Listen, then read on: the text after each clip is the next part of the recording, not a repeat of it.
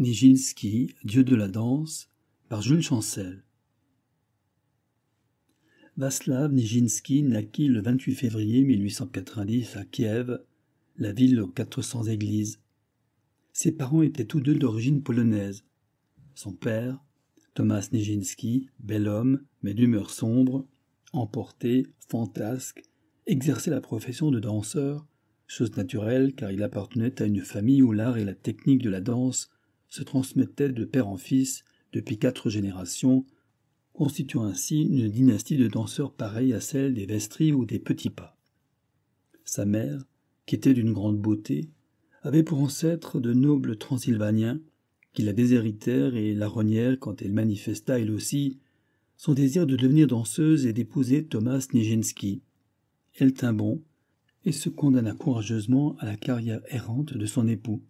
Les deux artistes n'appartenaient à aucun théâtre et n'avaient par conséquent aucune demeure fixe. Ils allaient d'une ville à l'autre au hasard d'un engagement qui leur permettait de gagner leur vie.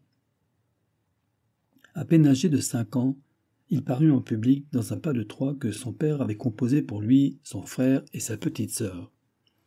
Thomas s'aperçut vite que Václav était le mieux doué de ses enfants et lui donna ses premières leçons de danse, mais hélas, bientôt ce père sans scrupules se lassa de la vie de famille et disparut un beau jour en abandonnant toute sa nichée. La pauvre mère délaissée dut pourvoir toute seule à son existence et à celle de ses trois enfants, dont l'un était infirme. Elle dut abandonner la danse, prit à bail un appartement et essaya de louer des chambres. Le seul espoir de cette mère était que son fils bien doué, Vaslav, pût entrer à l'école impériale de danse. Comme les corps des pages, les élèves faisaient partie de la maison impériale et appartenaient à un monde privilégié. C'était donc vers ce but si lointain que furent dirigés les efforts de cette courageuse famille. Le 20 août 1900, Vaslav se présenta et fut choisi avec cinq autres parmi cent cinquante garçons. Quelle joie Le jour où il reçut son trousseau réglementaire et où il revêtit le coquet uniforme noir brodé de la lyre d'argent et de l'aigle impérial fut un beau jour. Il trouva heureusement comme professeur à l'école un excellent homme, Nicolas Legal, qui n'était pas seulement un danseur extraordinaire, mais aussi un psychologue averti.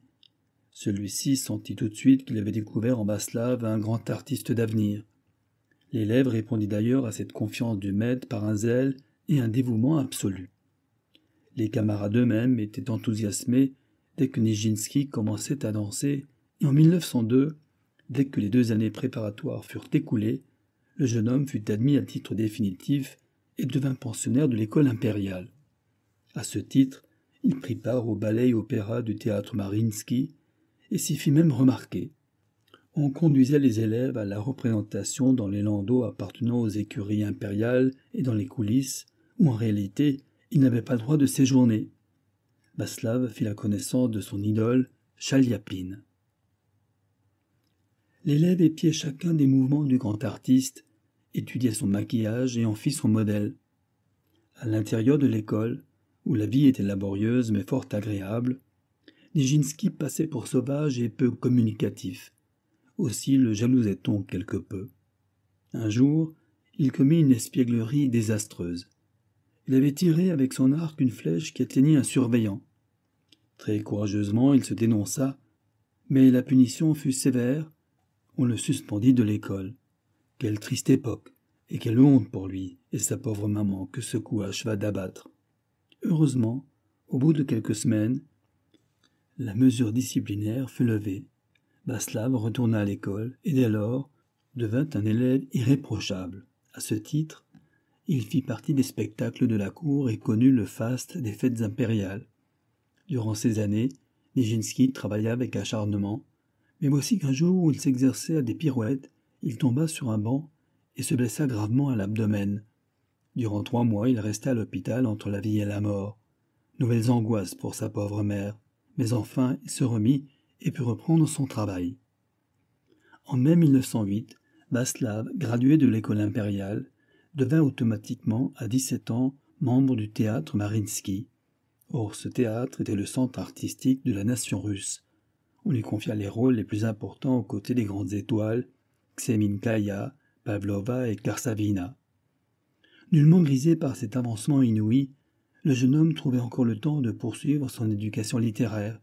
Il étudiait Shakespeare, Ibsen, Tchekhov, Tolstoï, et fréquentait les musées où son goût se forma au contact de Holbein et de Dürer. Ainsi il comprit que la beauté et l'harmonie des mouvements devaient intervenir dans ces danses, qui prirent dès lors une sorte de caractère personnel.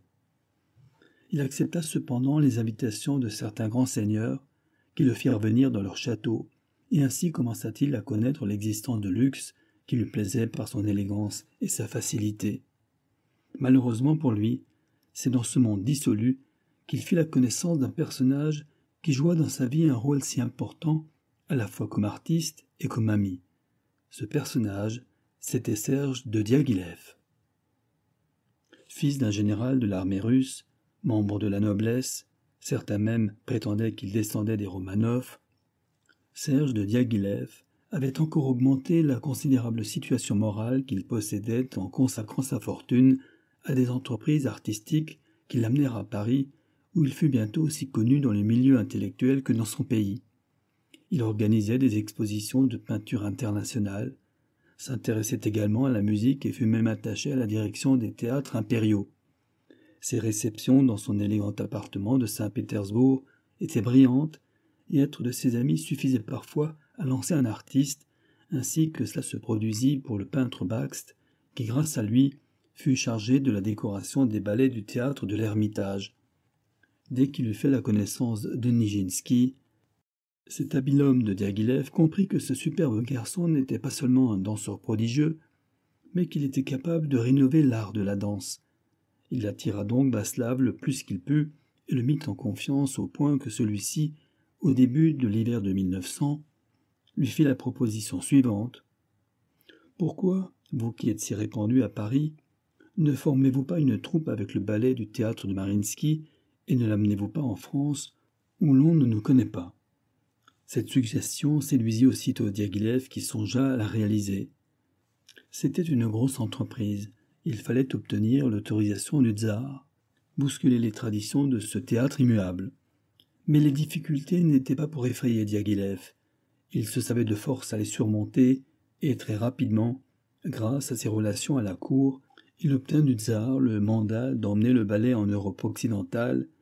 Sa mission devenait presque diplomatique, et déjà il se préparait à l'exécuter de façon grandiose quand il se fâcha avec la toute-puissante danseuse favorite, la Kessinskava, qui en deux heures lui fit retirer le mandat qui lui avait été confié. Coup terrible pour quiconque, mais pas pour Diaghilev, qui accepta la lutte. Il se mit en relation à Paris avec ses amis, l'impresario Gabriel Astruc, la comtesse Grefful, Bonnie de Castellane, le richissime sir Basile Zaroff. Ces personnages considérables louèrent le théâtre du Châtelet et déclarèrent qu'ils garantissaient l'entreprise.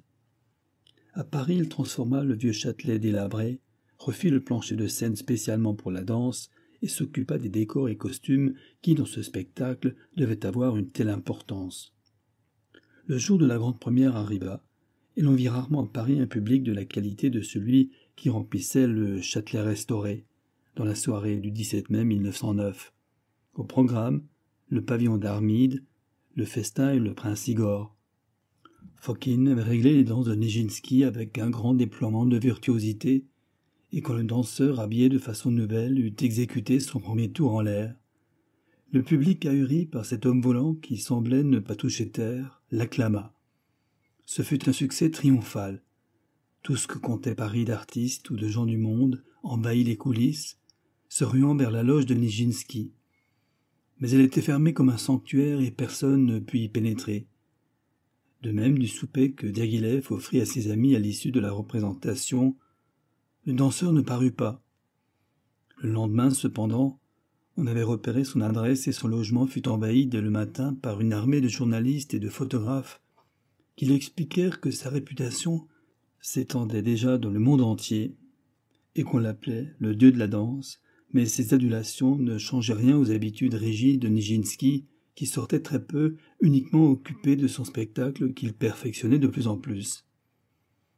Il dansait comme un corps sans poids, il planait, et s'immobilisait réellement dans l'air.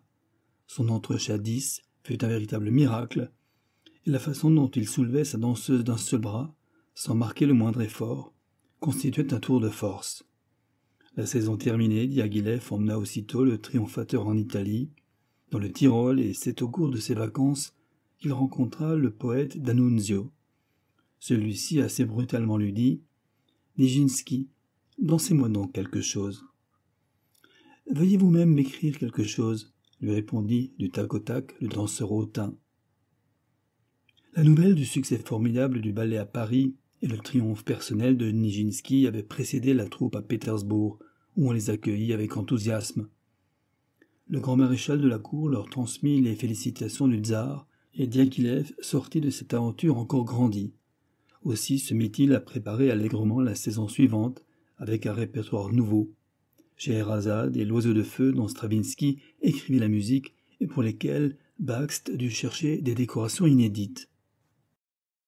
La seconde saison dépassa encore la première par son succès.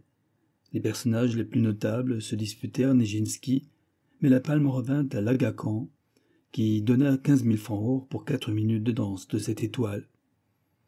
Nullement grisé par ses triomphes, Vaslav s'apprêtait à reprendre sa vie coutumière au théâtre Marinsky, quand un petit événement vint la bouleverser de fond en comble. Dès sa rentrée, il donna sa démission du théâtre impérial, et personne ne comprenait la raison de ce coup de tête quand on apprit qu'il était motivé par le petit fait suivant. Les grandes duchesses s'étaient plaintes que Nijinsky dansait vêtu de costumes trop sommaires et inconvenants. On lui demanda de modifier sa tenue, mais il préféra s'en aller. Bien entendu, l'influence de Diaghilev se trouvait derrière cette décision. L'impresario voulait avoir le danseur pour lui seul. Son projet était en effet de constituer une troupe personnelle et indépendante dont Nijinsky serait l'étoile. Il réussit à réaliser ce tour de force, et alors commença pour ces artistes cette vie errante de Rome à Londres, à Paris, en Espagne à Monte-Carlo, existence pénible, toujours en voyage, toujours de nouveaux théâtres et de nouveaux publics. Loin d'être abattu par ses efforts, Nijinsky songeait alors à ne plus être un simple danseur, mais à devenir un créateur. Depuis longtemps, il avait ses idées personnelles sur la danse, une technique spéciale, et voulut réaliser tout cela dans un ballet. Ce fut l'après-midi d'un faune. La représentation de ce ballet à Paris, le 29 mai 1912, se termina par un véritable scandale. On reprocha à Nijinsky son réalisme, sa bestialité même, mais il fut défendu aussi avec vigueur surtout par le sculpteur Rodin, il sortit encore grandi de cette bataille artistique qui avait mobilisé peintres, poètes, écrivains, sculpteurs, enfin tout le monde artistique, non seulement de Paris, mais du monde entier.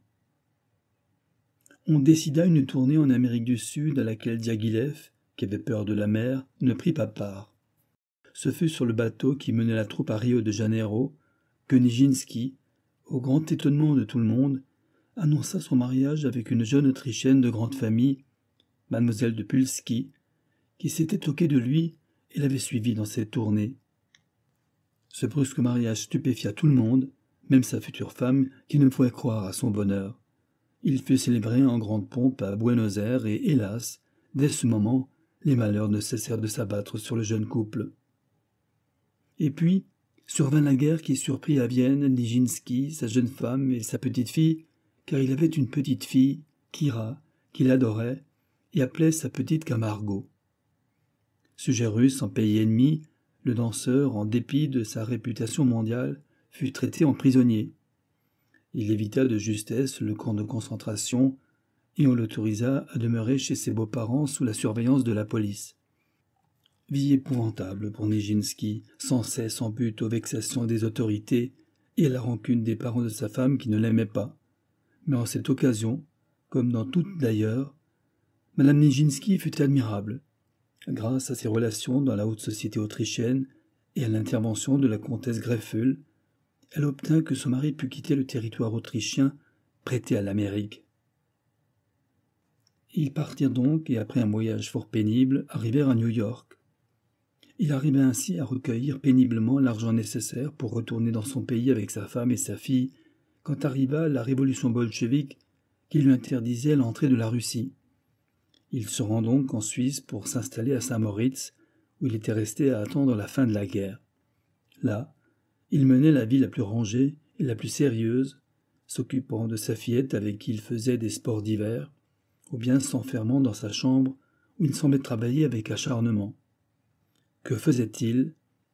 Il cherchait un procédé qu'il prétendait avoir découvert pour noter la danse comme on note la musique, écrivait ainsi des livres de ballets d'une audace déconcertante. Puis, petit à petit, sa femme désespérée le vit se livrer à des excentricités inquiétantes. Son caractère devenait de plus en plus fantasque. Il s'habillait de façon excentrique et portait sur la poitrine une grosse croix d'or. Il achetait dans les magasins des quantités d'étoffes inutiles. Enfin, il se mit un soir à danser en public des danses incohérentes sur des étoffes représentant des croix qu'il avait lui-même clouées sur le parquet. Sa femme fit venir un médecin qui l'examina sans qu'il élevât la moindre observation, et le verdict fut net autant que désespérant. Nijinsky était atteint de folie incurable, et il fallait l'enfermer aussitôt. Quatorze ans se sont écoulés depuis que l'esprit du grand danseur créateur a sombré dans l'obscurité et qu'il vit retiré du monde dans un sanatorium de Kreuzlingen. Il reste continuellement plongé dans une réserve sans fin, mais n'a pas cependant perdu la mémoire. Il sait parfaitement qu'il est Nijinsky, il reconnaît sa famille, regardant sa femme quand elle s'approche comme un chien intelligent ferait au maître qui prend soin de lui. Différentes expériences ont été essayées sur lui sans succès. Il resta impassible devant sa mère et sa sœur qui avaient bravé la mort pour venir de Russie lui rendre visite. Par contre, quand on fit danser devant lui un de ses rôles, il rectifia les faux pas de l'interprète. Au profane, il donne l'impression d'un homme silencieux, paisible, indifférent. Pourtant, un jour que son épouse lui présentait sa petite fille Kira, il lui caressa la tête de sa main et murmura Attention à l'enfant.